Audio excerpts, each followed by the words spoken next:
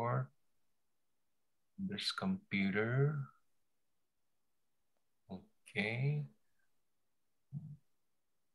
Baik, Om Tante, kita akan lihat Matius pasal 8. Nah, Matius pasal 8 ya.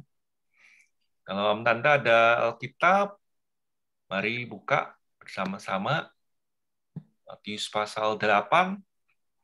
Waktu itu jadi dua bulan yang lalu ya kita sudah membahas Matius pasal 8 tetapi dari ayat 1 sampai 17 saja. Sekarang kita akan melanjutkan 18 sampai 34. Ya. Jadi bulan lalu kan kita nggak membahas kitab atau Injil Matius ya, kita membahas predestinasi. Jadi kalau Om Tante ada pertanyaan lagi atau ada tema yang ingin dibahas, beritahukan saya nanti kita akan bahas pada next next uh, Bible study. Oke, okay. nah sekarang kita akan lihat Matius 8 ayat 18 sampai 34. Jadi ada tiga kisah nih di sini, Om Tante kalau lihat ya Matius pasal 8 yaitu ayat 18 sampai 22 satu kisah lalu 23 sampai 27 satu kisah, 28 sampai 34 satu kisah, ada tiga kisah. Begitu juga eh, pembahasan kita dua bulan lalu ada tiga kisah. Kalau nanti lihat Matius pasal 8 ya, ayat 1 sampai 4 itu satu kisah, 5 sampai 13 satu kisah, 14 sampai 17 juga satu kisah, ya, tiga kisah sebelumnya. Kita lihat ini saya memberikan summary atau overview ya di bahasan dua bulan lalu ya. Jadi saya berikan title Jesus has authority over disease. Jadi Yesus berkuasa atas penyakit. Kita sudah membahas Yesus menyembuhkan uh, orang yang sakit kusta. Nah, orang kusta bukan hanya perlu disembuhkan secara jasmani, tapi perlu ditahirkan. Karena penyakit kusta secara seremonial, ya, secara ritual dianggap uh, penyakit yang unclean, ya, yang najis. Itu dijauhi dari masyarakat. Nah, karena itu perlu ditahirkan. Nah, Yesus menahirkan, bukan hanya menyembuhkan secara jasmani, tetapi menahirkan dia Ya. Lalu yang kedua, Yesus menyembuhkan orang kafir, yaitu kan siapa itu perwira di perwira di Kapernaum, ham, eh, seorang perwira ya minta agar hambanya disembuhkan oleh Tuhan Yesus. Mudah-mudahan masih ingat ya, Nanda. Lalu yang ketiga yaitu Yesus juga eh, Yesus menyembuhkan culturally marginalized, yaitu seorang perempuan, yaitu ibu mertuanya Petrus. Jadi Om Tanda masih ingat bahwa perempuan pada waktu itu dalam budaya Yahudi dianggap second class, ya, dimarginalisasi. Tapi Yesus tidak peduli dengan itu. Yesus menyembuhkan siapa pun yang membutuhkan kesembuhan. Oke? Okay? Itu lalu sekarang kita akan melihat tiga kisah berikutnya. Ya ini sudah kita bahas, kita nggak membahas lagi. Yang berikutnya adalah uh, Jesus has authority over disciples. Yesus berkuasa atas murid-murid, atas orang-orang yang uh, ingin mengikut Dia. Ya. Lalu jadi kita akan melihat ini ya nanti ayat 18 sampai 22. Lalu lanjutannya, Yesus juga berkuasa atas bencana alam, ya, over disaster. Kita akan melihat itu kan angin ribut datang ya, angin ribut diredakan oleh Tuhan. Lalu nanti yang berikutnya, yaitu Yesus berkuasa atas setan-setan, iblis. Jesus has authority over demons. Oke, okay. nah itu kita outline-nya ya, Onanda. Oke. Kita akan lihat satu demi satu. Oke. Jadi kita mulai yang pertama adalah Jesus has authority over disciples. Ya, Yesus berkuasa atas murid-murid. Kita lihat ya ayat 18 sampai 22. Ketika Yesus melihat orang banyak mengelilinginya, ia menyuruh bertolak ke seberang. Wah, ini emang ini saja sudah agak aneh. Melihat orang banyak bukannya ditunggu ya. Kan ini banyak nih yang mau ngikut. Gitu. Malah Yesus pergi, malah Yesus bertolak ke seberang. Ini ada suatu indikasi ya, Yesus menjauhi orang banyak ini. Lalu datanglah seorang ahli Taurat dan berkata kepadanya, Guru, aku akan mengikut engkau ke mana saja engkau pergi. Yesus berkata kepadanya, Serigala mempunyai liang, burung mempunyai sarang, tetapi anak manusia tidak mempunyai tempat untuk meletakkan kepalanya.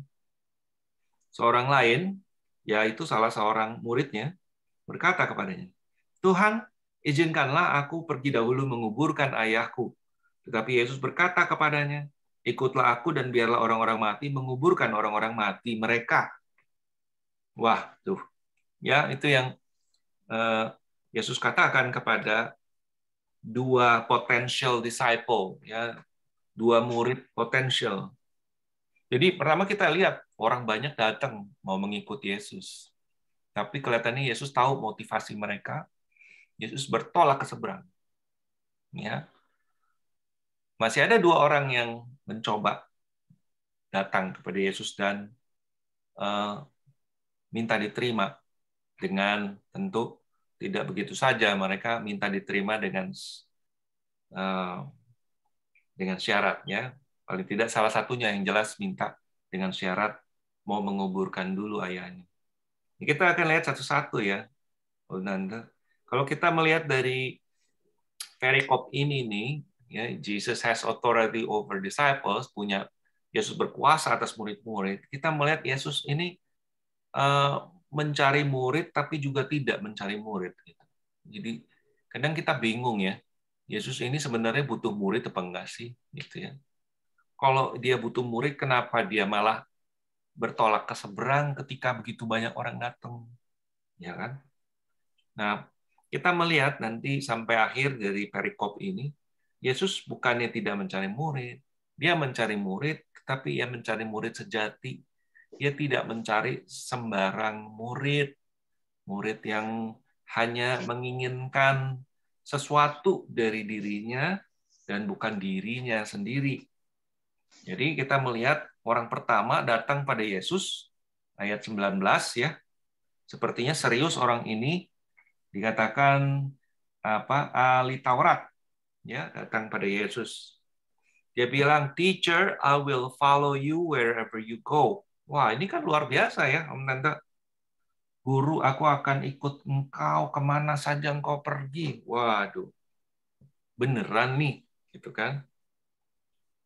Mungkin Yesus tahu orang ini bahwa dia datang kepada Yesus belum hitung-hitungan.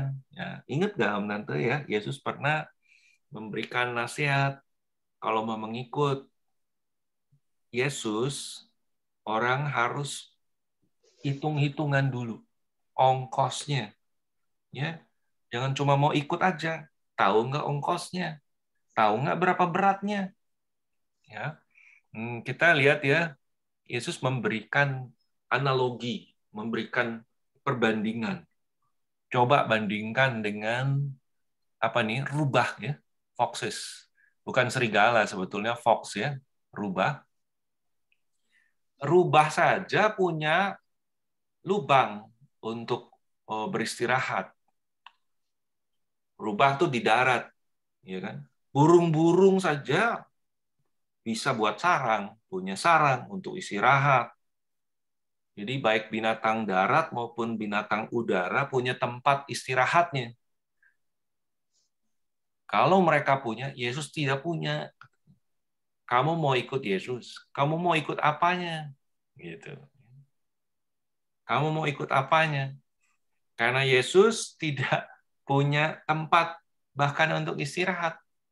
Jadi di sini eh, Om Tante kita melihat Yesus sedang berbicara mengenai the state of humiliation ya. Uh, humiliation ya, dia um, apa namanya? Kita tahu ada dua states ya, Tuhan kita dia datang ke dunia itu berada dalam keadaan dia merendahkan dirinya, humiliation. Ya. Nanti setelah dia mati dan bangkit, baru waktu bangkit itu kita sebut the state of exaltation, dia ditinggikan. Itu ada di Filipi pasal 2. Dia datang merendahkan diri ya kan menjadi manusia bahkan mati lalu kemudian dia dibangkitkan, dia diangkat, ditinggikan. Gitu. Nah, Yesus ini mengajak orang-orang yang datang kepadanya untuk berpikir, kamu siap nggak menempuh jalan humiliation? Walaupun ya, Yesus akan ditinggikan, tapi Yesus nggak mention itu kepada murid-muridnya. Om Tante ingat, Tuhan Yesus menekankan sampai tiga kali bahwa dia akan menderita, bahwa dia akan diserahkan kepada penguasa-penguasa dunia ini. Yang murid-murid nggak bisa terima itu. Ya. Jadi Yesus nggak main-main, nggak nggak pura-pura, nggak nggak jual apa, eh, dia nggak jualan gitu loh, sudah saudara ya. Dia mengatakan kamu siap nggak istirahat tempat istirahat Tuhan Yesus sebetulnya kalau kita membaca seluruh Injil yaitu di kayu salib, Om Nanda. Saat itulah Yesus istirahat. Yaitu waktu dia disalibkan di dalam liang kubur. Ya, itulah peristirahatan Tuhan. Gitu. Siap nggak kamu? Betul nggak kamu mau mengikut aku ke mana pun aku pergi? Nah, ya. Nah tentu ini tidak harfiah, ya kan? Tidak harfiah karena Yesus punya eh, rumah sementara di Kapernaum, ada dia. Yesus bisa numpang di rumah orang, di rumah orang-orang yang percaya kepadanya, ya yang Yesus juga percayakan dirinya. Yesus bisa numpang. Jadi bukan benar-benar nggak ada tempat untuk naruh kepala. Tapi kalau begitu apa maksudnya? Maksudnya sebetulnya adalah uh, mengikut Yesus mengikut Yesus yang sesungguhnya itu tidak nyaman. Nah, itu pesannya Om ya, mengikut Yesus itu sulit Om Tante mengikut Yesus itu menantang tetapi bukan tidak mungkin. Ya. Yes, Jesus is on the move day to day. Jadi Yesus selalu bergerak. Yesus selalu pergi, dia berjalan, dia berkeliling desa. Ya. Dia berkeliling kota. Tidak ada tempat yang tetap bagi Tuhan Yesus. Jadi mengikut Yesus tidak ada kepastian. In in one sense, tidak ada kepastian. Ya ikut, ke mana aku pergi. Dan Jesus selalu ya on the move. Satu-satunya yang pasti di dalam mengikuti Yesus adalah Yesus sendiri. If you follow me, I am all you have got. Itu yang Yesus mau katakan kepada orang-orang yang ingin mengikuti Yesus. Mau ikut aku, engkau mendapatkan aku. Bukan mendapatkan tempat yang nyaman, bukan. Tetapi mendapatkan aku. Mengikut Yesus mungkin oh sorry. Oh, ini saya di rumah nggak ada orang jadinya. Sebentar ya nanti ya.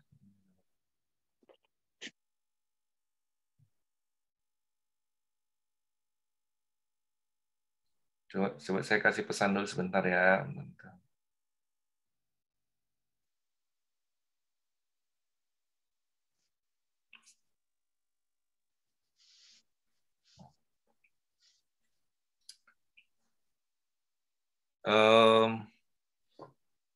mengikut Yesus mungkin berarti kehilangan segala sesuatu di dunia ini. Jadi ini pesan yang berkontradiksi dengan Injil kemakmuran ya Om Tante, prosperity gospel. Dalam prosperity gospel atau Injil kemakmuran, Yesus adalah jalan untuk memperoleh apa yang kita inginkan. Yesus bukan tujuan, Yesus adalah jalan untuk mencapai tujuan yang kita inginkan. Itu Injil kemakmuran. So be careful. Banyak sekali uh, ajaran-ajaran seperti ini yang kita tanpa sadar ya saksikan lewat YouTube, lewat radio ya dari internet yaitu kemakmuran, kesehatan, kamu orang Kristen, masa kamu sakit? Ya, kamu orang Kristen, masa kamu kekurangan? Ya, power, comfort gitu ya. Itu semua yang ditawarkan. Lewat mana? Lewat Yesus. Jadi Yesus adalah jalan untuk mencapai tujuan yang kita inginkan. Kita tidak datang kepada Yesus untuk memperoleh sesuatu, Om. Kita datang kepada Yesus untuk memperoleh Yesus. Itulah Injil yang sejati. Ya, prosperity gospel, Injil kemakmuran, kita datang pada Yesus untuk memperoleh sesuatu yang lain. Injil yang sejati, kita datang kepada Yesus untuk memperoleh Yesus. Karena Yesus itu cukup bagi kita. Itu. Ya. Nah, orang kedua yang datang kepada Yesus orang kedua yang datang kepada Yesus malah disebut murid. Di ayat 21 22 ya, Tante. Disebut murid. Nah, ini pertanyaannya murid siapa ini gitu. Ya. Murid siapa kok eh, mau ikut Yesus tapi mau menyelesaikan dulu eh, mau menguburkan dulu ayahnya. Begitu. Apakah murid ini bagian dari 12 murid? Kalau iya, bagian dari 12 murid, siapa? Yang mana? Nah, kita nggak diberitahu, tapi paling tidak di sini kita melihat bahwa tidak semua murid juga siap mengikuti Yesus. Gitu. Tidak semua murid siap mengikuti Yesus. Orang ini berkata begini, First, let me go bury my father. Uh, pertama-tama, izinkan aku menguburkan ayahku. Nah, apa maksudnya ini? Apa yang dia minta sebetulnya dari Tuhan? Apakah dia hanya ingin memberikan ayahnya yang sudah meninggal uh, proper a proper funeral, ya?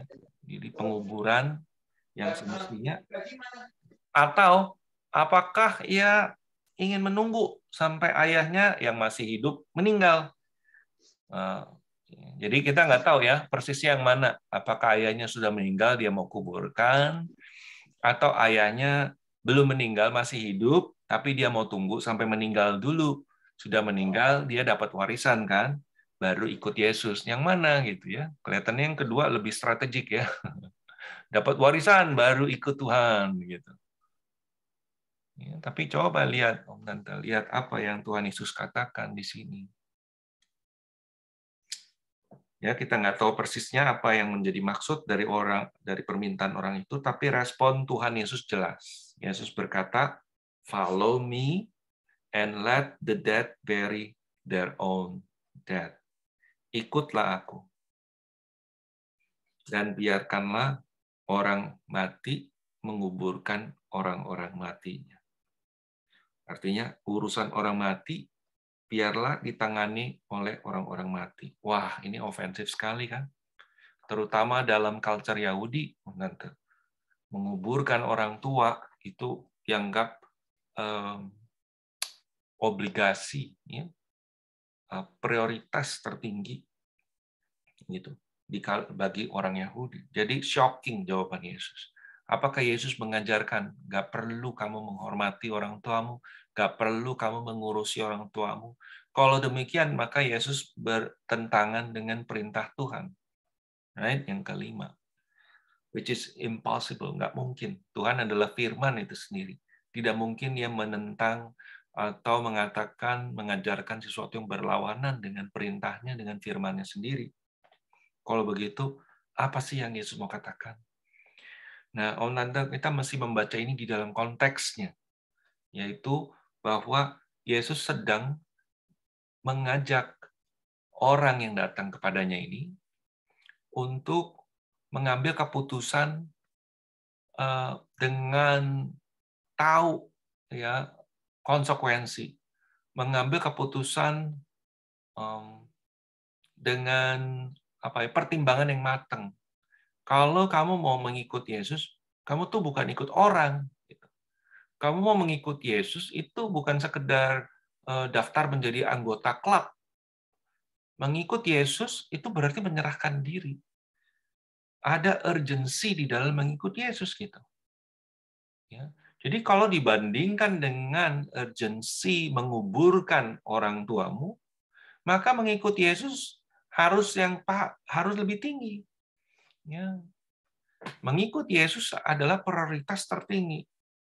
Mengikut Yesus menuntut totalitas hidup gitu. Ya.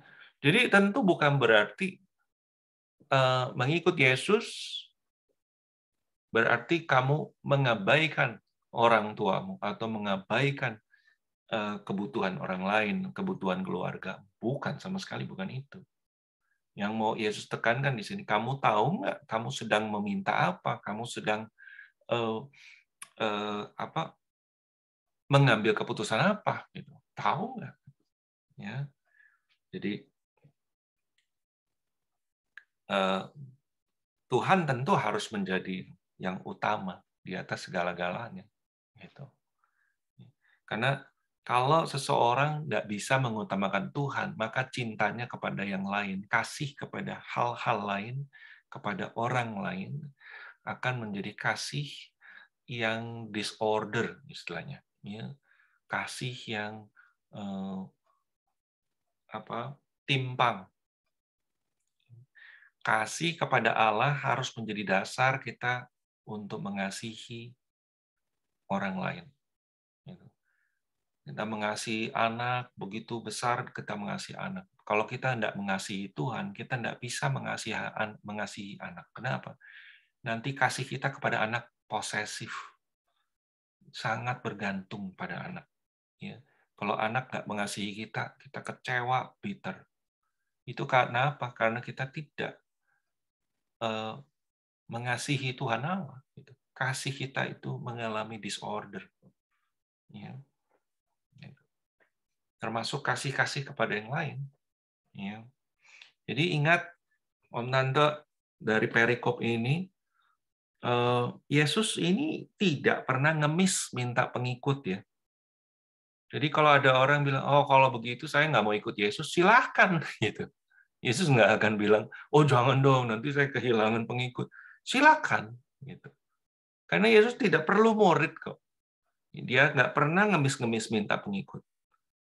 Ya, malah kalau Om Tante kita lihat, Yesus malah mengecewakan mereka yang mau atau bahkan sudah ikut.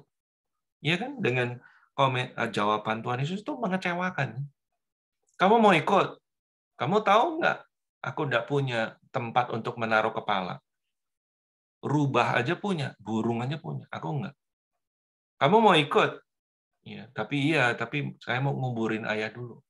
Wah, kalau gitu ya nggak bisa kamu ikut. Biarlah orang, kalau kamu mau ikut, aku ikut sekarang. Ya, orang mati biarlah menguburkan orang mati. Wah, itu ofensif sekali. Yesus sangat ofensif. Tapi Yesus tidak peduli, Om Tante. Karena apa? Karena Yesus menuntut unconditional trust. Kamu harus percaya tanpa syarat kepada Yesus. Yesus menuntut undivided affection. Kalau kamu mau mengasihi Tuhan, maka kasihmu itu harus tunggal. Ya, penuh sepenuh-penuhnya. Lewat kasih kepada Allah baru kamu bisa mengasihi yang lain. Itu. Ya. Jadi, Nanda ketika Yesus berfirman untuk mengus, eh, menyembuhkan orang dari sakit kusta, kustanya pergi. Yesus menyembuhkan orang lumpuh, lumpuhnya pergi. Ya. Yesus menyembuhkan demam, berperintah kepada demam. Demam itu taat dan pergi. Pertanyaannya, ketika Tuhan memerintahkan kita, apakah kita taat atau tidak? Gitu. Ya, do you obey? Itu pertanyaan. Ya, itu yang pertama, eh, kisah yang pertama ya dalam perikop kita ini. Kita lihat sekarang perikop yang kedua, yaitu Yesus berotoritas, berkuasa atas bencana, atas bencana alam. Hmm. Nah, banyak khotbah mengenai teks ini ya, ayat 23 sampai 27 ini yang berakhir dengan aplikasi Yesus akan meneduhkan badai di dalam kehidupan kita. Itu. Nah, saya bacakan dulu ya, mungkin Matius 8 ini. Lalu Yesus naik ke dalam perahu dan murid-muridnya pun mengikutinya. Sekonyong-konyong mengamuklah angin ribut di danau itu, sehingga perahu itu ditimbus gelombang. Tetapi Yesus tidur. Maka datanglah murid-muridnya membangunkan dia, katanya. Tolonglah, Tuhan, tolonglah kita binasa. Ia berkata kepada mereka, Mengapa kamu takut, kamu yang kurang percaya? Lalu bangunlah Yesus menghardik angin dan danau itu, maka danau itu menjadi teduh sekali. Dan heranlah orang-orang itu katanya, orang apakah dia ini sehingga angin dan danau pun taat kepadanya. Ya. Jadi seperti tadi saya katakan, Om Tante membaca perikop ini ya um, sepertinya natural ya untuk menarik aplikasi. Oh kalau begitu Tuhan akan meneduhkan setiap badai kehidupan kita. Jadi kita langsung menarik aplikasinya um, bahwa dalam hidup kita ini menghadapi kesulitan ya bagaikan menghadapi badai. Oh, jangan khawatir, Tuhan akan meneduhkannya. Badai itu mungkin badai pernikahan, badai itu mungkin badai rumah tangga, badai kesehatan, ya COVID-19. Oh Tuhan akan meneduhkan, begitulah. Itu aplikasinya. Tapi Om Tante, sebenarnya poinnya bukan di sana loh. Dalam cerita ini ya, intinya adalah justru di ayat 27. Yaitu orang-orang menjadi heran. What kind of man is this? Macam apa Ya, orang apakah dia ini? Ya, ini bukan orang sembarang gitu maksudnya. Bahkan angin, ribut, danau pun taat kepadanya. Oh. Ya. Nah, Om Tante mesti ingat bahwa murid-murid Tuhan Yesus adalah orang-orang Yahudi, Tulen. Mereka tahu bahwa hanya Allah yang dapat mengatur angin ya dan gelombang. Ya, seperti misalnya di Mazmur 89 ayat 9. Saya bacain ya, Mazmur 89 ayat 9. Hmm. Kalau dalam bahasa Indonesia ayat 10 ya. Engkaulah yang memerintah kecongkakan laut. Pada waktu naik gelombang-gelombangnya, engkau juga yang meredakannya. Ya banyak, ada ada ada saya kira beberapa lagi yang lain Eh, Mazmur 107 juga di situ kita melihat bahwa Tuhan Allah yang sanggup meneduhkan badai, angin ribut, gitu ya. Jadi waktu murid-murid melihat apa yang Yesus lakukan, murid-murid menjadi terkesima, kagum-kagum. Karena mereka mulai menyadari nih setelah melihat kuasa Tuhan meneduhkan angin ribut seperti itu mereka menyadari bahwa orang ini ini bukan orang biasa. Nah, itu kuncinya. Yaitu bahwa Jesus is God. Yesus adalah Allah. Kuasa Allah ada pada dirinya. Gitu. Ya. Jadi itu yang pertama bahwa intinya di sini inti dari perikop ini adalah Yesus adalah Allah karena kalau dia bukan Allah nggak mungkin dia bisa melakukan ini apa yang ia lakukan di hadapan mereka. Yang kedua, kita melihat juga Yesus adalah the true Messiah. Taunya dari mana? Bagaimana kita eh, memahaminya? Nah, ya mungkin kita kurang perhatikan, yaitu bahwa bukan kurang ya, karena kita nggak membaca original teksnya. Om Nanto, kata angin ribut sebenarnya ya atau badai ya dalam bahasa Inggris storm Sebetulnya kata yang dipakai dalam Yunani itu seismos. Seismos itu eh, kalau dalam bahasa Inggris itu seismic, ya, seismic itu kan artinya gempa, gitu ya, quake, gitu. gempa. Jadi bukan badai seperti dalam bahasa Inggris storm, tapi lebih tepat gempa, gitu.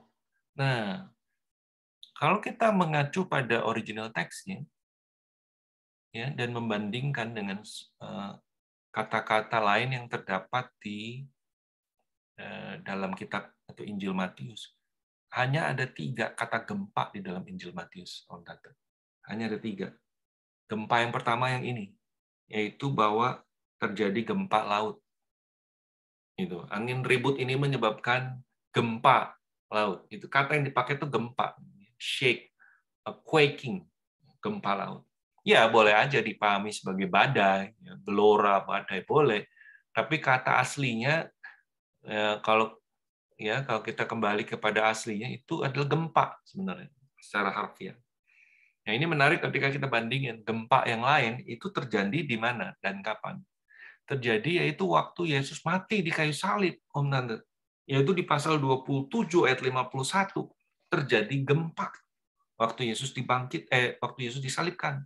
Lalu yang ketiga yaitu gempa saat Yesus dibangkitkan. Pada saat kebangkitan Yesus pasal 28 ayat 2 jadi ada tiga gempa di Injil Matius.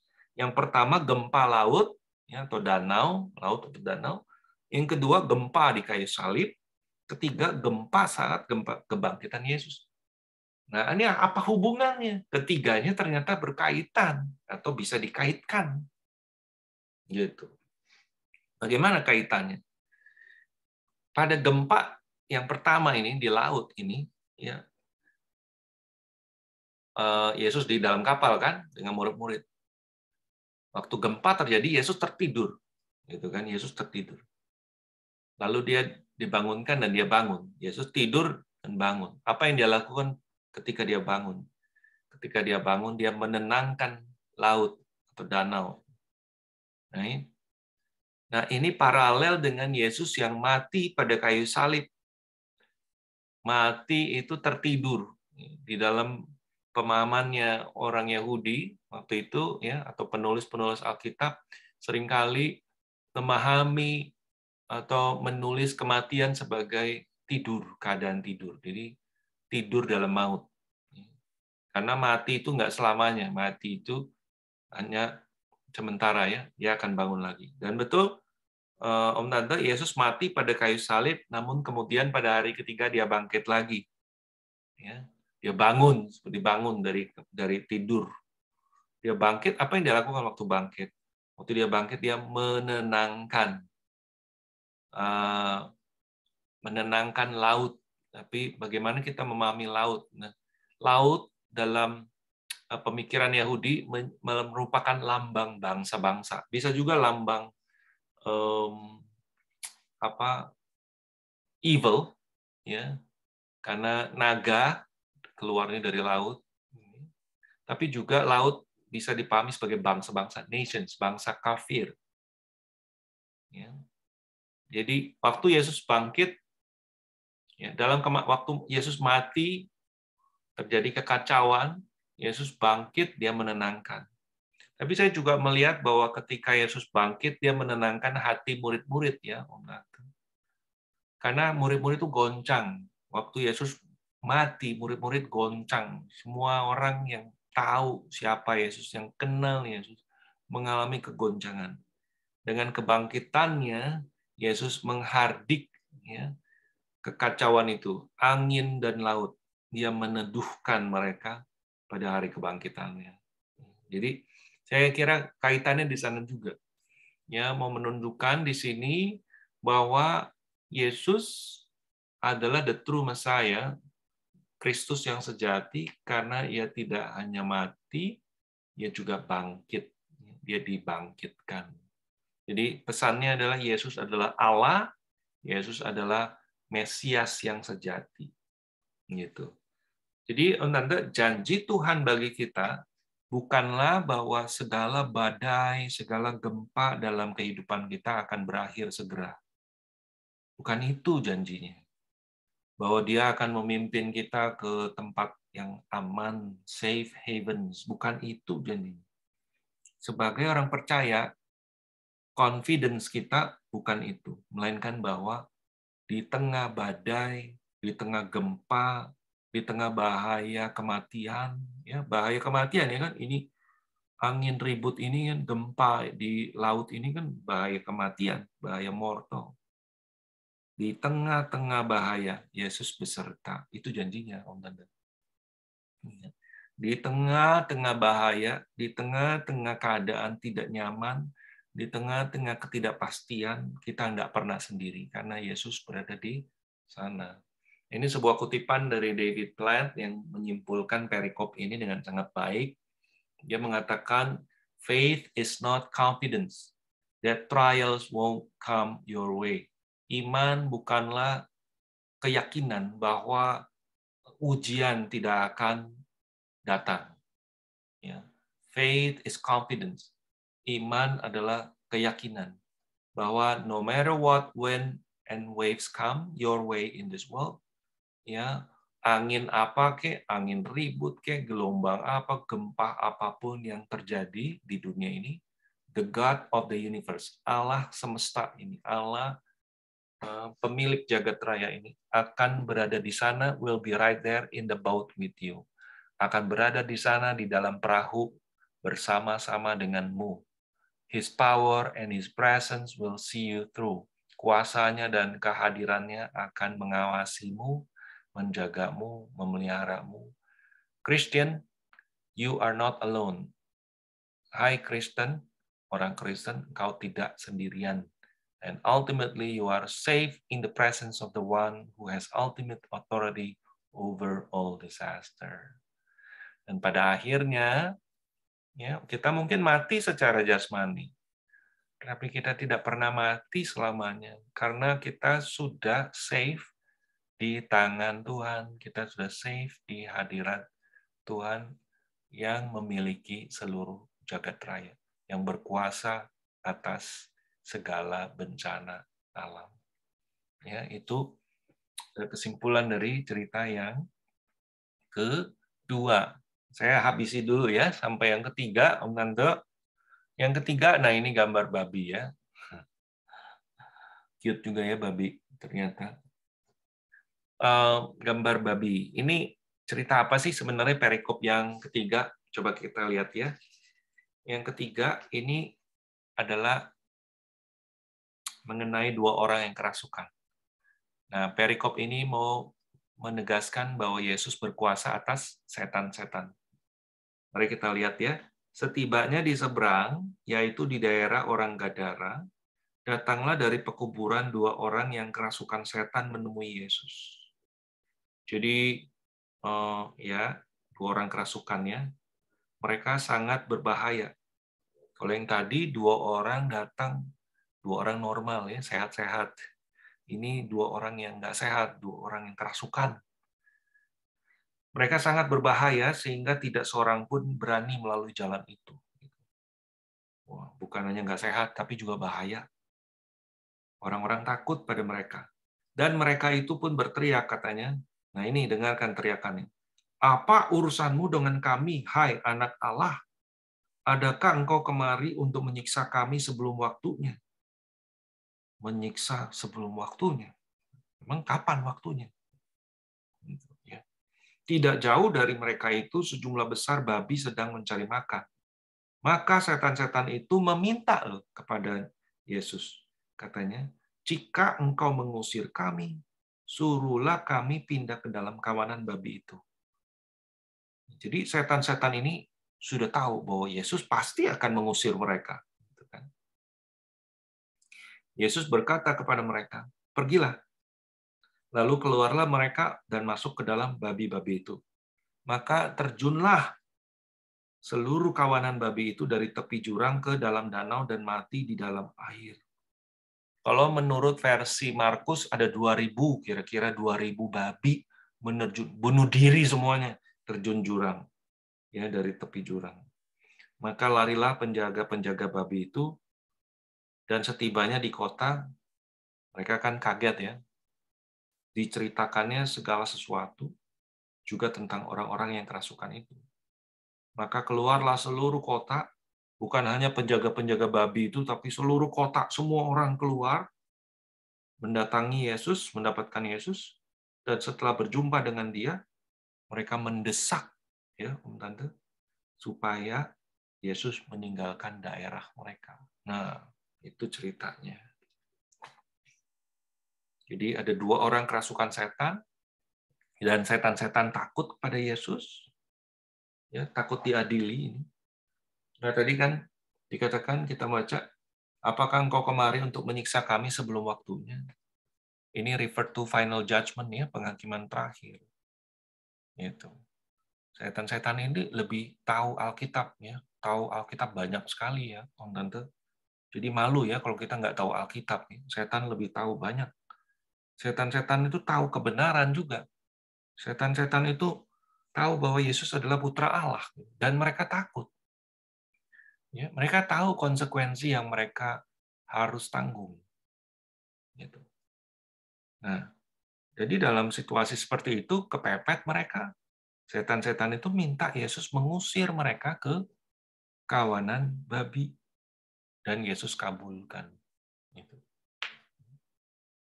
Nah, begitu Yesus mengabulkan, babi-babi itu dibunuh semua oleh setan. 2000. Ya. Diterjunkan dari tepi jurang. Jadi kerugian besar terjadi ya, Om Tante. Gitu. Maka eh, tidak heran ya Yesus diusir. Ya, Yesus diusir. Kerugian besar ini mirip ceritanya eh, seperti yang terdapat di kisah para rasul ketika para rasul itu mem, apa, mempertobatkan ya, eh, seseorang um, lalu kemudian jadi bukan mempertobatkan ya persisnya mungkin ya ada pertobatan juga tapi dari dengan pelayanan para rasul itu eh, para pedagang berhala itu dirugikan. Itu di di kota itu. Itu ada di kisah para rasul. Saya kurang ingat persisnya. Tapi ketika uh, waktu itu uh, apa tuh para berhala penjual berhala itu merasa dirugikan, mereka semua protes juga dan mereka minta para rasul itu diusir. Ini sebetulnya udah ada presiden nih ya, yaitu di sini ketika Tuhan Yesus mengusir, membebaskan orang dari kuasa setan, setan itu mendatangkan kerugian, lalu Yesus yang diusir gitu. Ini ironis sekali kan mereka merasa rugi. Dua orang itu dibandingkan dengan 2000 babi, gitu kan. Bagi Yesus lebih berharga daripada babi. Tapi terbalik bagi para pebisnis. Jangan-jangan pebisnis ini, ya penjual babi ini juga sebetulnya penyembah-penyembah berhala karena kan eh, Yesus sedang berada di daerah orang kafir kemungkinan mereka juga penyembah berhala, ya, mereka juga menikmati pekerjaan setan. Maka di dalam bahasa Inggris tuh ada istilah ini, Om Tante. Um, istilah better the devil you know. Ya.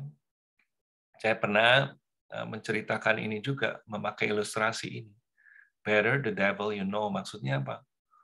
Uh, ini idiom ya dalam bahasa Inggris artinya um, lebih baik urusan sama setan ya atau sama orang jahat yang kamu kenal. Orang jahat itu bisa orang orang yang sulit ya, orang difficult, tapi paling tidak kamu kenal. Kamu sudah kenal lama ya. Daripada orang yang kamu nggak kenal sama sekali. Nah, orang-orang Gadara ini nggak kenal Yesus kan, mereka orang kafir. Yesus datang sebetulnya membawa melakukan kebaikan ya, membawa pembaruan, pembebasan. Tapi mereka merasa lebih comfortable hidup dengan setan. Lebih comfortable hidup dengan babi-babi. Ya, lebih comfortable dengan hidupnya yang lama. Ya, daripada mengikut yang baru yang nggak jelas. Dan apalagi Yesus itu powernya luar biasa. Gitu. Maka Om Tante saya pernah sampaikan ini juga. Mengikut Tuhan itu uh, memang scary ya itu saya kira minggu lalu ya. Mengikut Tuhan itu mengerikan ya kalau kita mengerti ya mengikut Tuhan. Karena Tuhan itu akan mengobrak-abrik hidup kita gitu. Yang kita rasa udah nyaman gitu. Di atas, di bawah, di bawah, di atas. Ya. maka kan selalu dikatakan, kamu mau ikut Tuhan, udah hitung ongkosnya belum? Ya. Mungkin sebelumnya baik-baik hidup kita, tapi setelah mengikuti Yesus, waduh, ada banyak hal yang saya harus ubah, yang saya harus tinggalkan, dan itu uncomfortable. Makanya, banyak orang kemudian memilih, oh, better the devil I know. Lebih baik tinggal sama setan sejauh saya masih bisa kontrol, saya bisa saya bisa tahu, saya masih bisa hidup comfortable seperti sekarang. Gitu. Nah itu yang kita lihat di sini, ya ironis, ironis. Iblis benci pada Yesus kita lihat di sini, benci memang, ya nggak gerah dia berhadapan dengan Yesus. Tapi uh, mereka tidak berdaya, ya. mereka tidak dapat buat apa-apa tanpa seizin Tuhan. Mereka berada di bawah kontrol Allah, di bawah kontrol Tuhan. Mereka tidak dapat buat apa-apa di dalam dunia ini, di dalam hidup kita, di luar izin Allah yang berdaulat. Ya. Kalau Allah tidak mengizinkan, iblis sejahat apa pun, ya, selicik apa pun, dia tidak bisa uh, menyentuh gitu. Kalau Allah tidak mengizinkan. Tapi kalau Allah izinkan, maka tentu iblis bisa lakukan apa saja yang dia mau lakukan, seperti uh, yang dia lakukan terhadap babi-babi itu. Iya dong. Tuhan lepas, mereka akan lakukan. Ya. Petrus sendiri pernah Petrus pernah berkata ya, saat setan itu seperti singa katanya ya, yang mengaum-ngaum itu di 1 Petrus 5 ayat 8. Tapi singa ini tidak lepas. Singa itu singa ini singa yang adalah setan ini diikat ya, is on a leash gitu ya. Dan Tuhan Allah yang memegang talinya. Nah mungkin nah saya stop dulu sampai di sini ya, supaya saya enggak terus menerus nanti. Om Tante silakan kalau ada yang ingin bertanya atau ingin ada yang kurang jelas atau yang ingin dieksplor lebih jauh, silakan ya di unmute ya.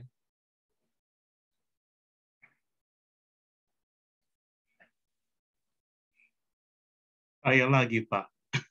Ayo Pak David, silakan Pak. Iya, tadi eh, waktu Bapak start dengan ayat 18 memang agak menggelitik hati juga ya. Iya, banyak orang mengelilingi dia, tapi dia justru bertolak ke seberang gitu. Iya. Ada beberapa ayat yang lain yang teringat oleh saya. Tuhan Yesus ini memang tidak perlu uh, popularitas gitu. Hmm. Tidak perlu gitu karena bukan itu tujuannya dia datang ke dalam dunia untuk misalnya menjadi raja gitu. Ini dia enggak dengan kesederhanaannya dengan kehambelannya beberapa ayat menulis setelah dia membuat uh, mukjizat, maka menyingkirlah dia dari orang banyak. Terus kemudian itu banyak sekali, ada dua atau tiga yang saya lihat. Dia menyingkir. Dia tidak mencari popularitas. Mm-hmm. Tapi saat ini kadang-kadang ada ada orang-orang yang mengabarkan Injil, tapi justru cuman memeg, cuman meminjam nama Tuhan Yesus Iya. Tapi mencari popularitas, sedangkan Tuhannya kita sendiri itu tidak mencari popularitas, Pak. Iya. Yang kedua, saya tarik sedikit deh ke yang tadi ayat 1 sampai 18, just sedikit aja. Uh, di sini kelihatan benar bahwa Tuhan Yesus itu is Tuhan dan. Memang powerful. Dia adalah Tuhan. Misalnya di paragraf pertama dari uh, pasal 8, seketika itu juga akhirlah orang itu. Mm-hmm. Jadi seketika itu juga nggak nunggu-nunggu besok dan iya. sebagainya. Yeah. Terus kemudian juga di paragraf kedua, pada saat itu juga di ayat ke-13, sembuhlah hambanya. Mm. Terus di ayat ke-15 dibuka lalu demamnya hilang. Artinya Tuhan Yesus itu memang powerful. Tuhan Yesus itu memang Tuhan yang harus kita percayai. Hmm. Kita bisa lihat dari tanda-tandanya gitu. Dan dia adalah begitu humble waktu dia datang dalam dunia dan dia tidak meninggikan dirinya. Bahkan di dalam Filipi tadi juga disinggung bahwa dia uh, apa merendahkan dirinya sebagai hamba ya. bahkan mati di kayu salib. Begitu Pak Iya, thank you pada ini saya. highlight yang uh, penting, yang baik ya, mengajak kita kembali ke tiga kisah sebelumnya. Memang betul ya, kita perhatikan itu langsung ya, David, kesembuhan itu terjadi.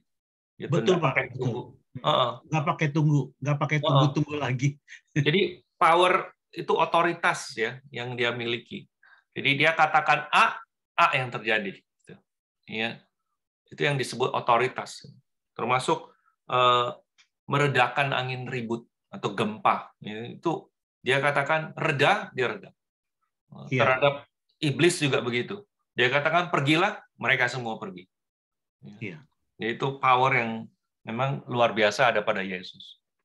Gitu. Thank you Pak David. Sama-sama Pak. Ya, silakan Om Tante kalau ada yang lainnya ingin berdiskusi. Bagus. Ya, Pak Paul. Uh, mengenai uh, the, the, the, the devil put it on the leash. Itu artinya bagaimana? Jadi uh, jadi kita tuh uh, sudah uh, ya kita sudah uh, apa tuh setan sudah dikuasain tapi belum kita belum sampai total penguasaan setan gitu. Iya. Yeah. We are there but we are not yet gitu. Iya. Yeah. Iya, artinya Pak Paul, um, iblis tidak, even saat ini ya, iblis tidak bisa melakukan apa yang uh, uh, apa yang ia mau lakukan secara sewenang-wenang. Itu nggak nggak bisa. Ya. Uh, sebetulnya di kitab Wahyu kita sudah sempat bahas itu ya. Di kitab Wahyu ya, ya. waktu berapa bulan berapa hmm, berapa waktu yang lalu ya, tahun dua tahun yang lalu kali ya. ya. Itu sebetulnya sudah ada tuh. Di situ dikatakan uh, coba ya saya lihat lagi. Oh ya, itu di Wahyu pasal 20 ya, kerajaan seribu tahun. Ya. Ya, di Wahyu pasal 20 di kerajaan seribu tahun.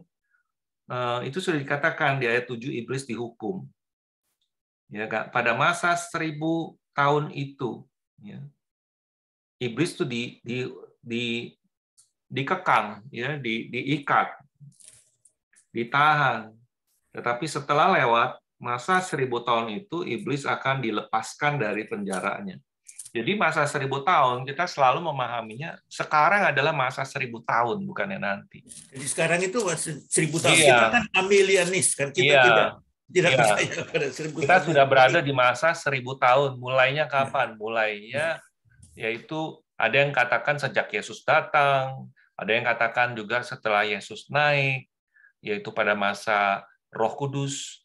Ya. Itu nggak terlalu penting, tetapi yang pasti kerajaan seribu tahun sudah dimulai sejak Yesus eh, datang dan berkarya, gitu ya. Persisnya kapan kita nggak nggak nggak nggak perlu terlalu apa namanya uh, persis gitu. Nah, kerajaan seribu tahun itu sudah kita alami.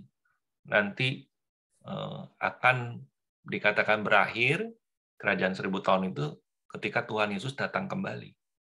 Ya. Gitu. Nah, jadi, uh jadi uh, sudah dikekang, sudah dipenjarakan dalam arti tertentu uh, seperti on a leash ya di ya. seperti singa yang diikat. Hmm. Jadi tidak ada suatu apa pun yang terjadi kalaupun iblis bekerja eh, yang berada di luar kontrol Tuhan. Jadinya seperti misalnya kisah Ayub, ya Pak Po? Iya, iya, iya. Uh, ya kan iblisnya lagi keliling-keliling, gitu kan? Lalu Tuhan memberitahukan, mengatakan, Ayub ini hambaku yang saleh. Iblis bilang, ya terang aja karena kamu selalu memagari dia sih. Coba lepaskan pagarnya, perlindunganmu, maka dia akan melawan, menghujat kamu. Tuhan katakan, ya silahkan dicoba hambaku itu, tapi jangan ambil nyawanya. Jadi gitu, Tuhan izinkan dengan semacam eh, apa limitation, dengan batasan-batasan. Tuhan izinkan, tapi semua itu berada di dalam kontrol Tuhan. Jadi iblis itu di uh, di put on a leash karena kuasa kebangkitannya. Iya. Kuasa kebangkitan itu adalah menyebabkan uh, iblis put on the leash, gitu. Mm -mm. Iya. Sampai nanti kedatangan Yesus kedua. Jadi memang dari, seribu tahun itu ya sekarang itu ya. Mm -mm.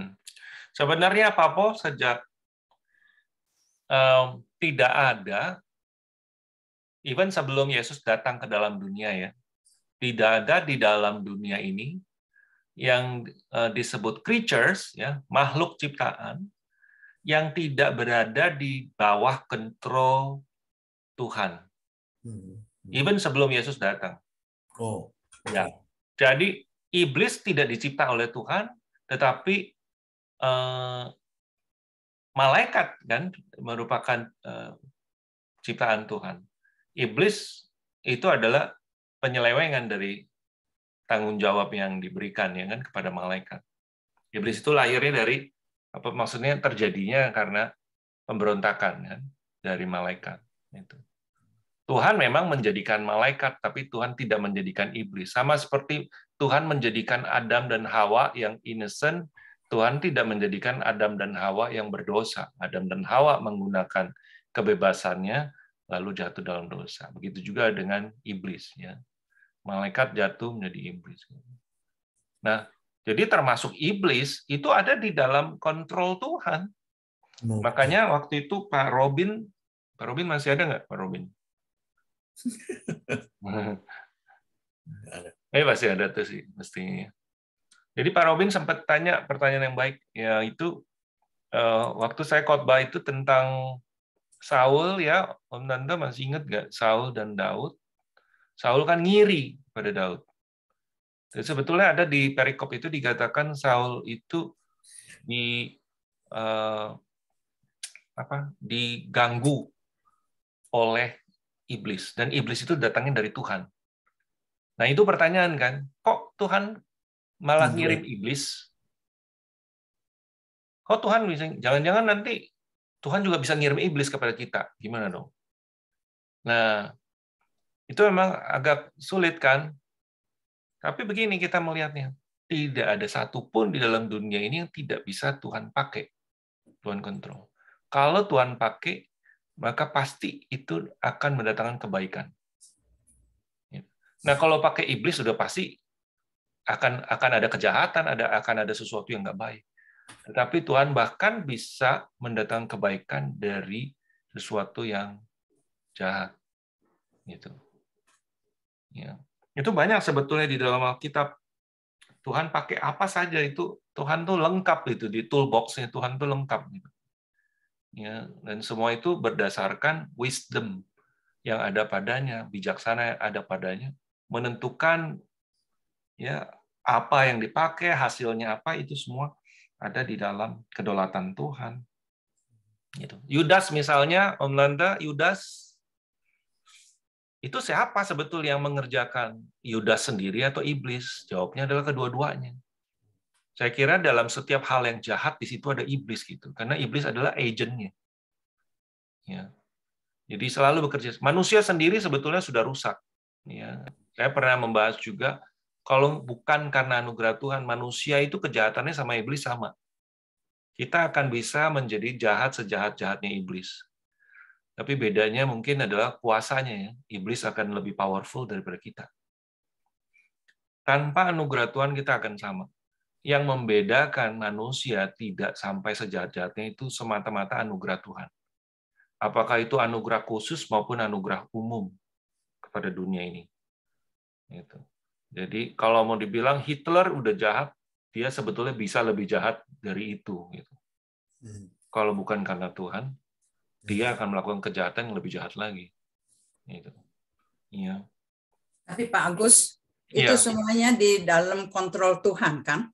Betul. Hanya menciptakan yang yang memperbolehkan. Seperti tadi Bapak bilang, uh, Yudas kan uh, dia yang um, itu kan Yesus sampai dia disalib. Iya. Itu kan sudah rencana Allah supaya Yudas berbuat begitu supaya Yesus nanti jadi disalib. Iya. Right? Iya. Tapi semuanya itu sudah Tuhan sudah rencanakan mempergunakan si setan itu Iya. untuk tujuan Tuhan. Iya. Nah, mungkin yang perlu diklarify supaya kita jangan sampai keliru juga memahaminya. Eh, Tuhan memakai kebebasan Yudas yang sudah tentu saja memang kebebasan Yudas itu sudah rusak kan ya karena dosanya sendiri. Tuhan memakai kebebasan Yudas untuk mengkhianati Yesus, menjual Yesus dan seterusnya. Gitu. Ya, bukan Tuhan yang membuat Yudas untuk mengkhianati Yesus atau menjual Yesus. Jadi Yudas itu bukan papet boneka yang digerakin tangannya untuk untuk menjual Yesus atau mengkhianati Yesus. Yudas hanya dibiarkan untuk menggunakan kebebasannya yang jahat untuk menjahati Yesus, mengkhianati Yesus. Dan pada akhirnya kita membaca dalam Injil, walaupun kejahatan itu sudah dilakukan, tetap ada keselamatan yang datang dari sana. Gitu. Ya. Tapi kalau nggak gitu, Pak, kalau nggak gitu nanti Yesus jadi tidak disalib dong. Iya, eh, iya betul, Budayan. Itu yang kita baca. Yesus memang eh, harus disalibkan matinya. Tetapi mesti dibedain eh, siapa yang menjadi pelaku utamanya. Gitu. Di dalam teologi ya ada dua istilah ya, first cause sama second cause. Tuhan itu selalu first cause. Artinya dialah penyebab uta, penyebab pertama. Segala sesuatu bisa ada itu kan mesti ada penyebab pertamanya kan. Gitu. Misalnya kalau Tuhan nggak menciptakan, udah pasti nggak ada Yudas, nggak ada Adam dan Hawa yang jatuh dalam dosa. Kalau dia nggak menciptakan apa-apa. Jadi Tuhan adalah penyebab pertama segala sesuatu. Gitu. Tetapi Yesus itu, eh, Tuhan itu bukan second cause. Secondary cause. Secondary cause itu maksudnya adalah eh, pelakunya, gitu, agentnya. Agentnya adalah Yudas, Yudas ya. bukan Tuhan. Ini. Jadi kalau mau ditanya, eh, ini semua terjadinya karena apa? Kalau mau dibilang karena Tuhan, karena Tuhan sebagai the first cause, yes. Karena Tuhan penyebab segala sesuatu, penyebab pertama. Tapi Tuhan bukan secondary cause, ya, atau second cause. Yes, Tuhan itu bukan pelaku agentnya, pelaksananya bukan. Gitu. Pelaksananya adalah ya orang-orang ini, ya iblis, ya ya siapa? Ya Yudas, ya Saul, gitu. Dan dan yang lain-lain dan Firaun itu adalah pelaku. Gitu. Ya agak tricky ya. Jadi bagus, bagus. Jadi relevansinya dengan sekarang ini begini.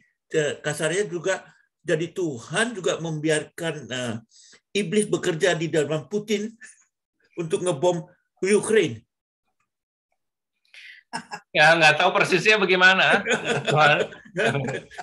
Tapi jelas ada kejahatan di situ ya, ada kekejaman di situ. Gitu. Kita sulit untuk me, apa, memastikan ya. Kecenderungannya memang kita melihat kan Putin ini pihak yang salah gitu kan. Tapi kita nggak tahu bagaimana Tuhan bekerjanya ya.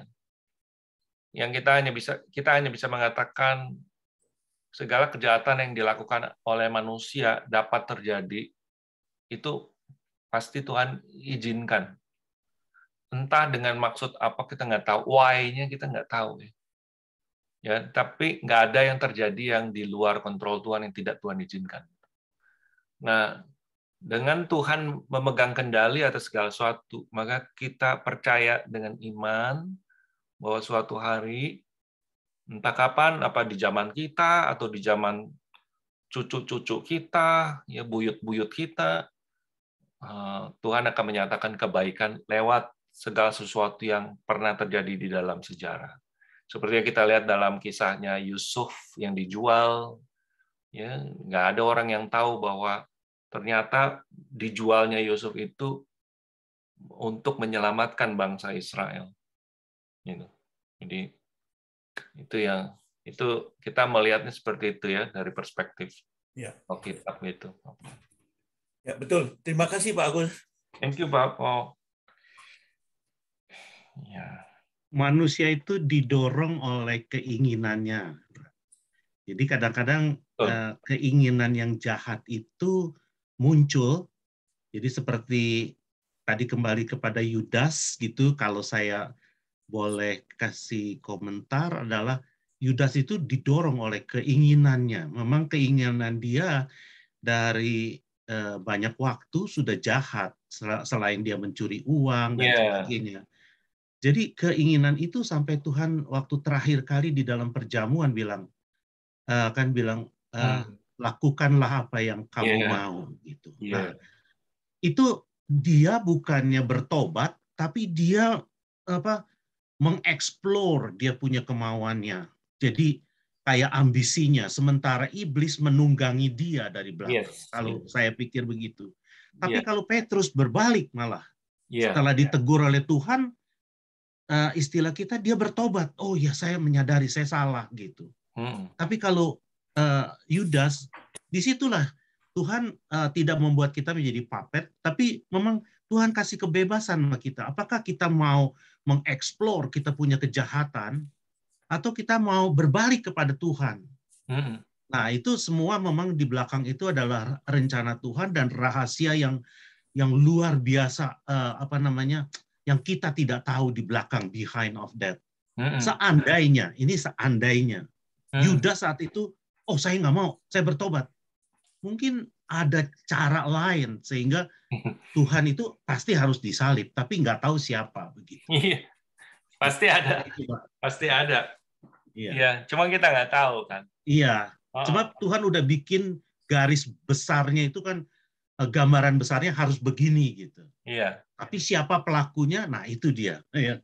Iya. Tapi ternyata ya di dalam Alkitab ini kebetulan adalah Yudas gitu. Tapi kalau Yudas misalnya bertobat, kita nggak tahu di belakang itu siapa lagi yang akan yang akan uh, uh, memain peran begitu hmm. di situ.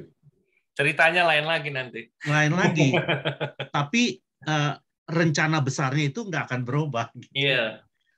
Itu seperti uh, saya dulu pernah Eh, mendapat ilustrasi ini ya.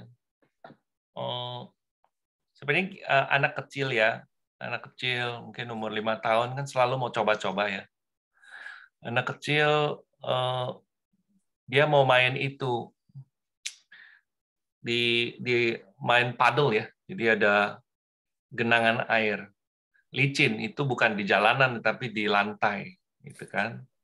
Jadi kalau ada genangan air kan licin ya kan dia anak lima tahun dia selalu pengen main-main, pengen tahu dia pengen main. Nah kita eh, katakanlah itu saya gitu sebagai ayahnya gitu kan, lihat, wah kamu jangan ke sana karena kalau kamu ke sana nanti kamu main air itu licin kamu bakalan jatuh. Nah, karena sebelumnya udah pernah. Tapi namanya anak-anak ya, tetap aja dia mau main ke situ, dia main-main. Nah, perhitungan saya ini dalam perhitungan saya yang terbatas sebagai manusia, saya bisa mengira-ngira 95% kalau dia pergi ke sana itu dia bakal jatuh. Gitu. Tapi itu kan saya 95%, gitu ya. Kalau Tuhan 100% pasti karena dia tahu, ya kan? Dia kekal, dia tahu apa yang akan terjadi in the future sekarang Nah, saya aja bisa memperkirakan 90% anak saya bakal jatuh. Dan betul jatuh begitu ya.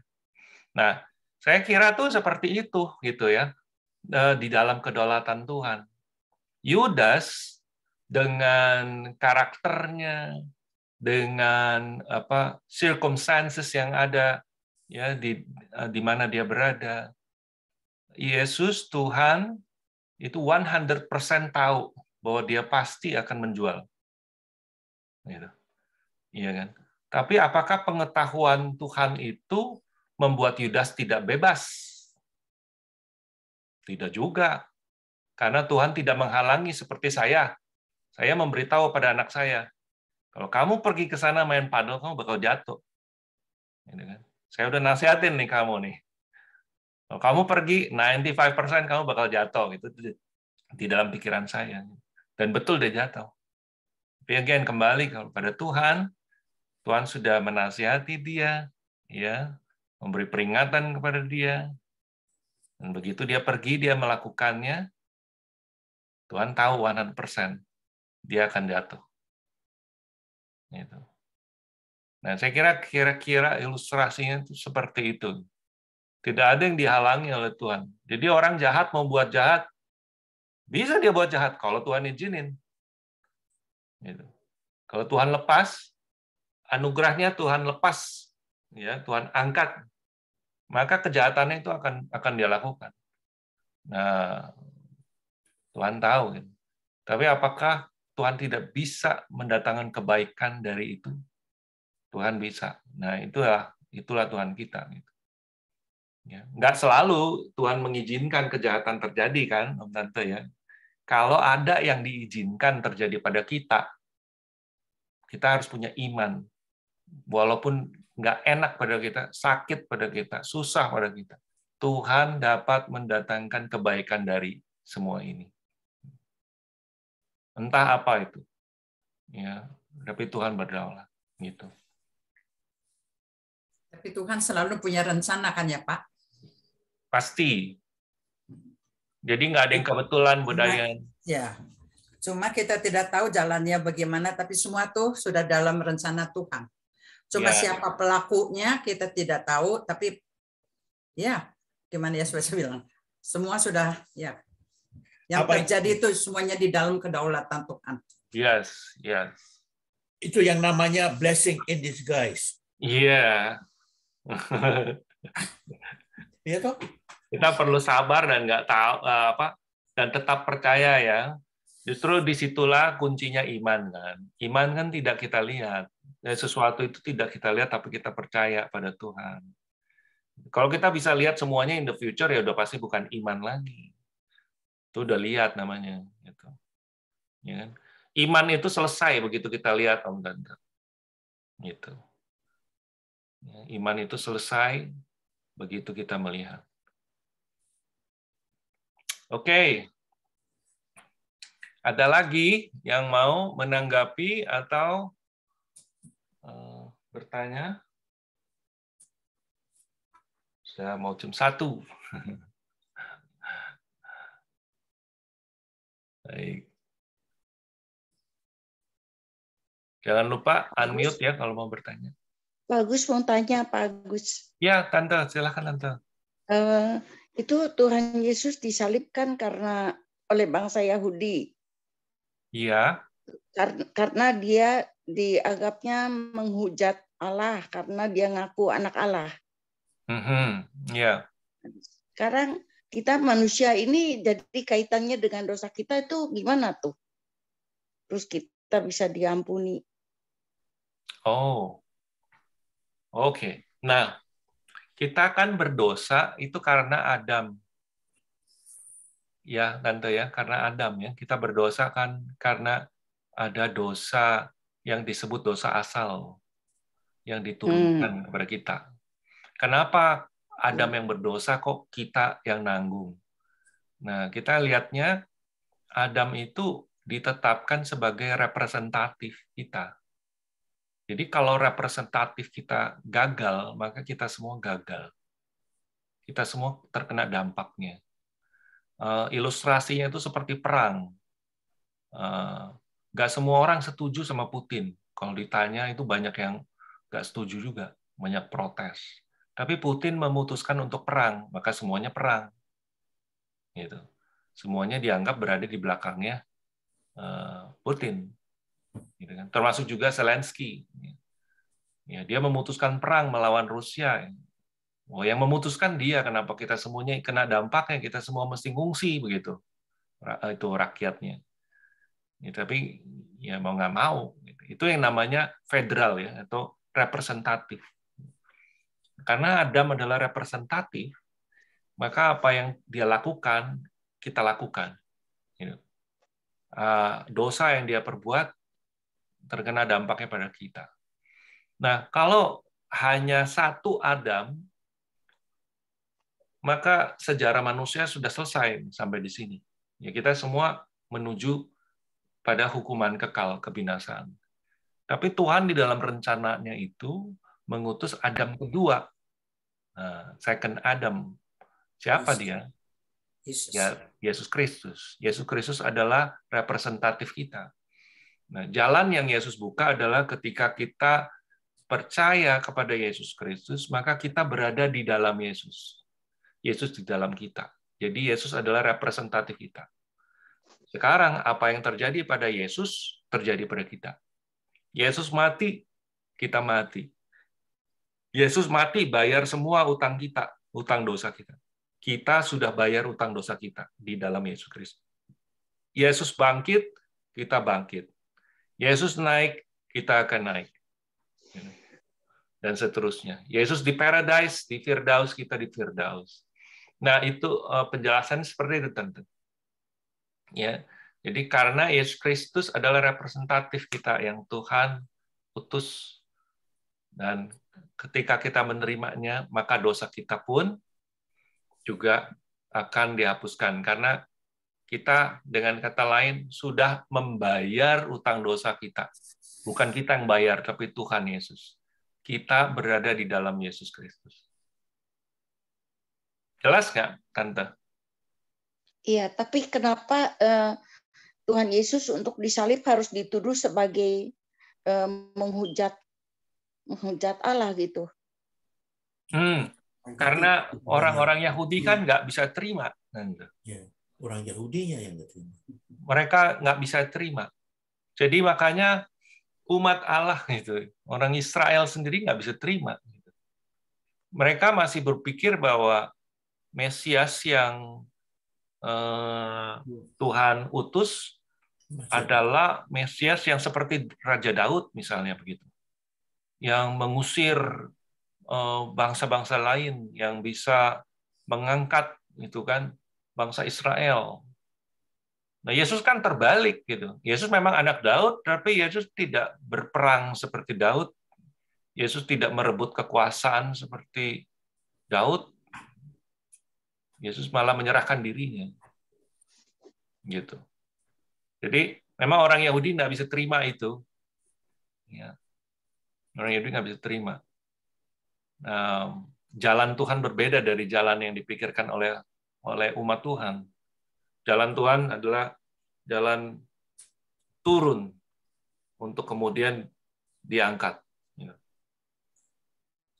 Jalan salib baru jalan kebangkitan. Itu jalan Tuhan. Maka nggak bisa diterima. Gitu, Tante. Iya. Makasih, Pak Agus. Ya, thank you, Tante. Baik. Baik, kalau begitu, silakan. Kalau uh, orang Yahudi yang percaya Yudaism nggak mengakuin Tuhan Yesus, terus nanti di hari pengadilan bagaimana ya Pak? Apakah orang Yahudi ditinggal apa gimana ya? Oh, oh karena jadi, mereka sampai sekarang kan nggak ngakuin Tuhan Yesus sebagai uh, Mesias. Betul ya, tapi nggak semua ya. Uh, Pak Junias. Jadi iya uh, maksudnya yang yang ikut itu apa? Uh, iya. Judaism itu ya Pak ya. Yes, yes, iya. Jadi para Yudais itu tidak tidak akan diselamatkan selama mereka tetap di dalam kepercayaan mereka. Sama sebetulnya perlakuannya terhadap semua bangsa. Karena jalan keselamatan hanya di dalam Yesus Kristus. Maka Eh, sekalipun mereka orang Yahudi, mereka pun tidak diselamatkan. Itu yang makanya disesalkan oleh Rasul Paulus. Rasul Paulus sangat mencintai orang Yahudi, orang-orang sebangsanya. Tetapi mereka tetap tidak mau percaya. Gitu. Nah, sampai Tuhan membuka hati mereka dan mereka menjadi percaya pada Kristus, barulah mereka diselamatkan. Gitu. Jadi perlakuannya sebetulnya sama.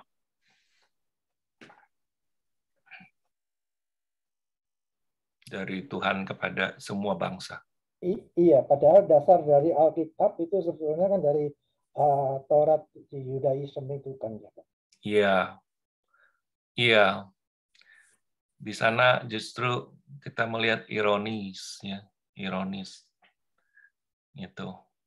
Uh, kalau membaca surat Roma banyak di situ uh, apa ironis gitu ironi-ironi yang Rasul Paulus tuliskan.